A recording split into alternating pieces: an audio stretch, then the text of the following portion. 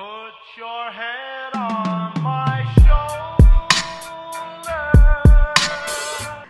guys, it's me Mara. So as you can see by the title and as you guys can see by my face, medyo bare face ako ngayon dahil wala akong lip and cheek tint and that is because we're going to try Everlasting Natural Lip and Cheek Stains. So ayan, binigyan nila ako ng kanilang complete set of their lip tints and bago ang lahat, sasabihin ko na na you can view their Facebook and Instagram pages down below or lalagay ko dito, ayan.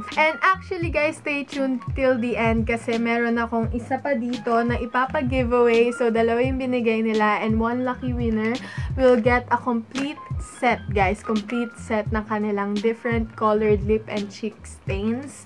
And ayan yung unbox na natin siya. Pero before that, make sure you are subscribed to me and click the bell button beside it to be notified whenever I post a new video. So guys, let's get started. Ayun, um, bear with me, bear with my bare face. so I'm very happy that it's natural. Kasi, syempre, we want that natural, organic materials. And I really like the packaging. Sobrang sakto ng mga lip tints sa loob. O, tabi-tabi sila. And actually, guys, nakita ko sa Instagram nila na 80 pesos, guys. 80 pesos lang ang lip tint na to. So, sa loob, may card na thank you, thank you, everlasting natural lip and cheek stains. So, ayan. So, natitira na lang sa loob is ang ating mga lip tints. Ayan, si Mahogany. So, actually, makikita nyo, wala na siyang plastic. Kasi yung iba may plastic packaging pa. Ayan, kung nakikita nyo. Nakaseal pa siya. And ito, ginamit ko na. Kung fina-follow nyo ako sa Instagram, nagamit ko na siya. And guys, I really, really love it. Kasi guys, first impression ha, 80 pesos. 80 pesos siya guys. And apakaganda ng packaging. Meron pa siyang seal. And hindi siya nagli-leak. Hindi siya nagli-leak guys. Maganda yung packaging niya. Green yung packaging nila. And it's really cute. Ang ganda din ng um, font nila. So, yun yung first impression ko. And sasabihin ko ng mga napansin ko kasi nagamit ko na nga to. Ito yung ginamit ko, mahogany. And I really like this kasi super natural ng kanyang look sa aking skin, sa aking cheeks, and sa aking lips. Sobrang blendable. Yung mga tipong lip stains kasi na ganito na mura na nabibili mo is pag nilagay mo siyang ganyan, is nagsistay yung pagka-line kung paano mo siyang in-apply. Kunyari, in-apply mo siya ng paganto. In-apply mo siya ng pag-ano. Guys, nagsistay, di ba? Nagsistain yung pagkakalagay mo. And I really, really hate that on lip tints. And ang pinaka nabilib ako sa kanya, guys, is yung pagka-long lasting niya. As in, sobrang, sobrang long lasting niya sa cheeks. Grabe talaga. I started using this mga 1pm nung day na binigay sa akin to. And until 12 midnight, um, gising pa ako nun and nagsiselfie ako for some reason. Napansin ko na ang red pa rin nung cheeks ko. Ayun. So, I really like yung pagka-long lasting niya. Sa lips naman, of course, kakain ako, ganyan and everything. Medyo hindi siya as long lasting sa, kesa sa cheeks. Pero, you can still see the stain. You have to really, like, put a lot on your cheeks. Hindi man a lot, pero tamang lagay lang. And that is for the whole day na. So, unlike other lip tints na maglalagay ka nga ng konti, like isang dot lang, pero you have to reapply um, like 3 to 4 times a day. Ito kasi, isang lagayan lang, tas ma- kahit madami man yan na lagay, um, you, it will last you the whole day, promise guys. Kasi guys, parang ang napansin ko, kaya madami kong maglalagay is, mad madaling mag-transfer siya sa hands. Hindi natin ma-avoid yan kasi, syempre, we're applying our lip tints with our hands. Pero this one, it has a thinner bit of extra transfer in your hands just because you're applying a lot more. And last thing na napansin ko is that it has a smell, parang may pagka vanilla scent siya, na parang sweet, na parang ice cream scent. Hindi siya strong. So, ngayon, punta na tayo sa mga swatches. So, first, we're going to try Mahogany. My favorite shade as of the moment, dahil ito pa lang natatry ko. So, this is how I apply it, guys. Ganyan lang. Ayan, ganyan ko lang siya nina-apply. Tapos, I blend it. And, ilalagay ko na rin siya sa cheeks since hindi ko pa nalalagyan ng lip tint yung cheeks ko para mapakita ko sa inyo. So, this is my favorite shade and lalabas ako today kasi Valentine's ngayon. So, maglalagay na ako para makita nyo. So, um, ayan. Di ba for a normal lip tint, parang medyo mas marami na siya. Ayan. Sobrang natural na sa akin. Tuwan-tuwa ako. Like, this is my go-to color talaga. Yung parang mukha lang ako nagla-blush. As you guys can see, sobrang blendable niya. Hindi nyo nakikita yung parang lines. Parang ang tagal ko siyang pinagstay dyan and hindi nyo makikita yung bakat ng lip tint. Eh, Unlike sa iba na pag ginanon mo, makikita mo yung linya na nakaganyan. And I really, really hate that. And ito guys, don't mind. Kasi nagasgas lang ako sa mukha nung aso ko. Ayan yung transfer niya sa kamay. You love. The brothers, boo, you know how we do. It's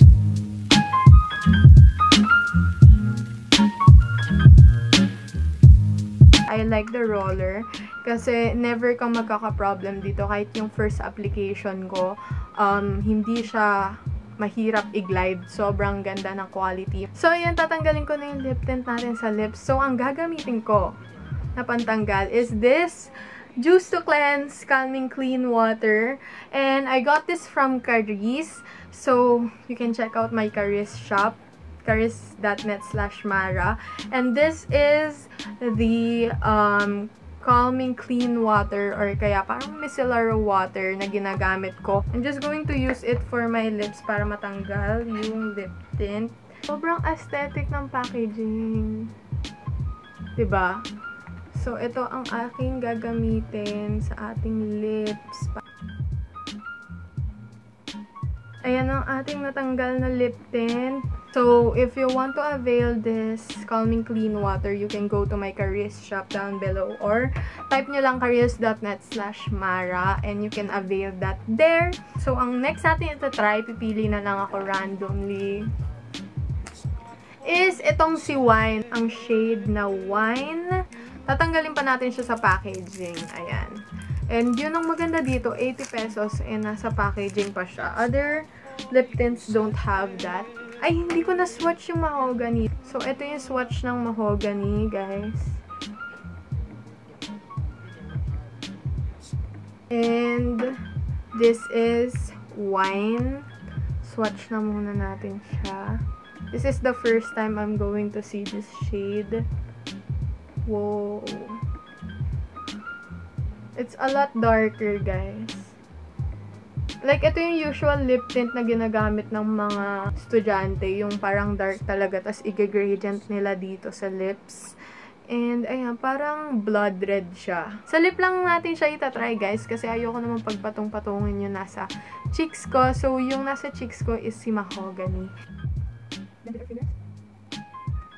Sa personal, iba yung color niya kesa yung color na nasa camera. This is perfect for morena, guys.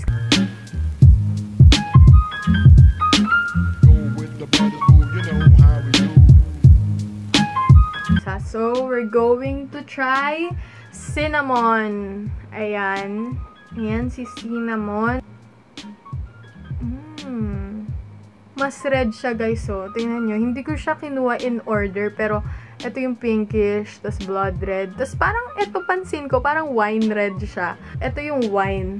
Tas ito yung cinnamon. And this looks more cinnamon.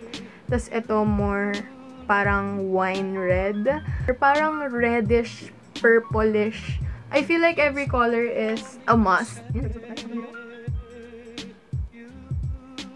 Parang contrabida red siya. I feel like it matches my top.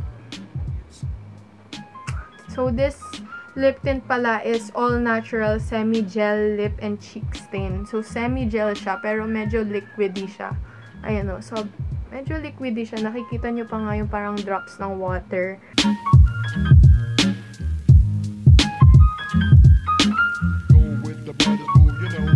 So, guys, ang next color natin itatry, we have three colors pa remaining. So, ang gagamitin ko is si Honey.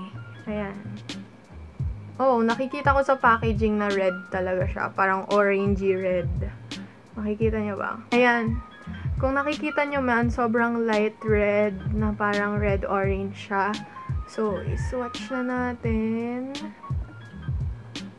Yeah, tama ako. Parang mas red siya kesa dito sa top. So, this one parang pinkish red siya and this one parang reddish orange. Parang red-orange siya. Okay, ito parang super reddish orange siya sa akin. Pwede ito pang um, araw-araw ng mga students. Like, it's very natural color. Pero for me, parang mas natural kasi yung parang may pagka-shade of pink. Lahat halos na na-try ko. Maganda yung pagka-red.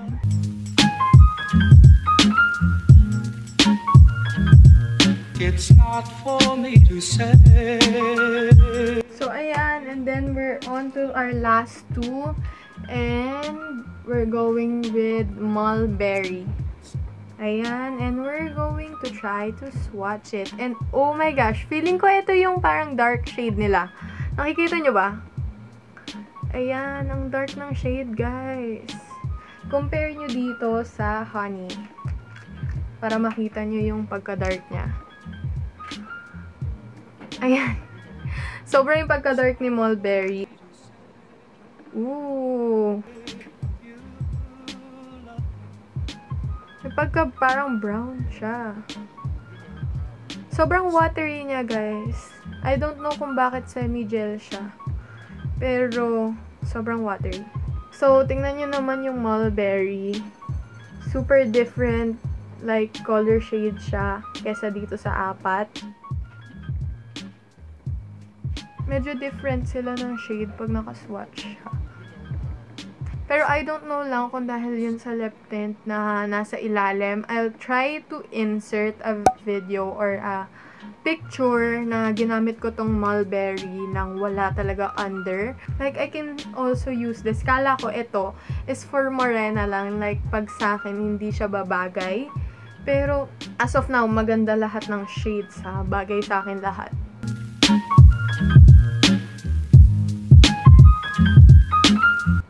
guys, the last shade that we're going to try is Flamingo. So, ang gaganda din ng names ha. Hmm. Like, this is a bright red, guys. Bright red. Ayan. Parang may pagka-shade nga rin siya ng pink, pero mas pink to, guys. Oh my gosh, ang galing nila. Ang galing nila pumili ng shade. Tingnan nyo. Walang super magkakaparehas dito. Like, everything is very different from the other. Like, this one is different from this one. Ayan, super wide na range nila. Iba-iba talaga siya ng itsura. Overall, I like the shades a lot. Like, every single one is a good shade.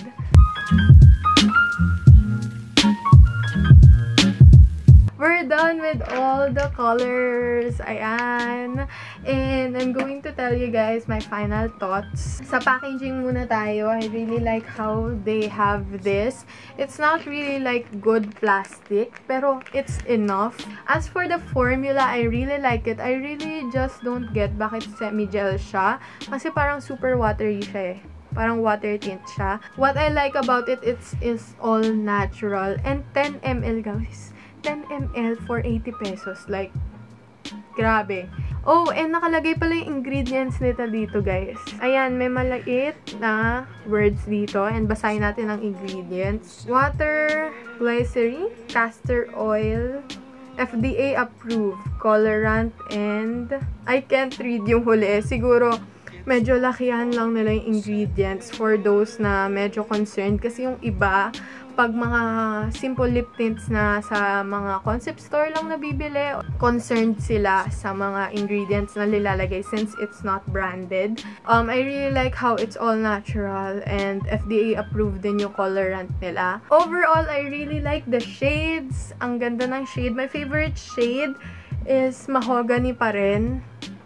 Like, this is for my everyday, for every single one, I will use it, every single one. Like, as in, even this one, I, I will use this. Lalo pag mga um, pupuntang sa mall. Pero kasi hindi ko to magagamit for everyday. Kasi ayoko nung too much too red. Pero ito guys, magagamit ko siya for mall. I like how it's very different from each other nga. Yung tingnan nyo guys, walang super um, the same shade. Like this one is pinkish, this one is blood red, this is wine red, this is red orange, this is like brownish, this one is like a true to red color, um, as in bright red siya. So, ayan guys, mahahalata nyo naman na walang naulit na shade. Is it's very, very, very, very, very, very long lasting. As in, hindi mo na kailangan mag-retouch ng iyong cheeks the whole day. I would definitely recommend it guys. Hindi dahil binigay, binigay nila to sa akin.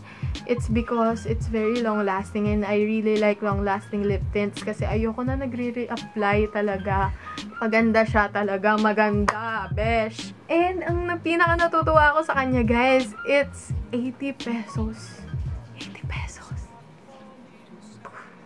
Ayan, punta na tayo sa ating giveaway. Ayan, mag-giveaway ako ng isa pang everlasting um, natural lip and cheek stain set. So, all you have to do is make sure you are subscribed to me and click the bell button beside it to be notified whenever I post a new video. Alam nyo na yan. Ulit-ulit ko sinasabi yan. And number two, go follow Everlasting Lip Stain on their Facebook and IG page. I'll link them down below or ilalagay ko dito. Post nyo muna tong video na to para makita nyo yung link. Guys, third, make sure you are following me on all my social media accounts. Nakalink lang din down below. Lastly, comment down below your favorite shade out of all the six shades that I swatched.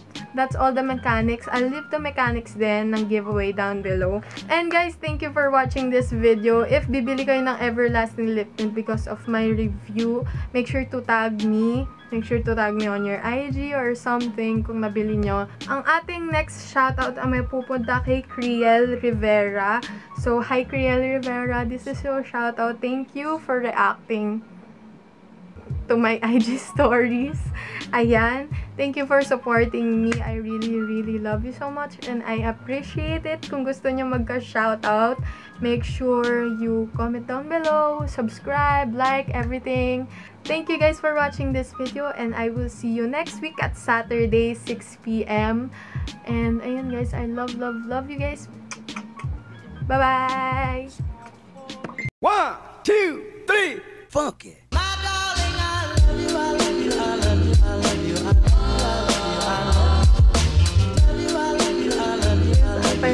Hirap niyan tanggalin. Told you guys, it's long lasting.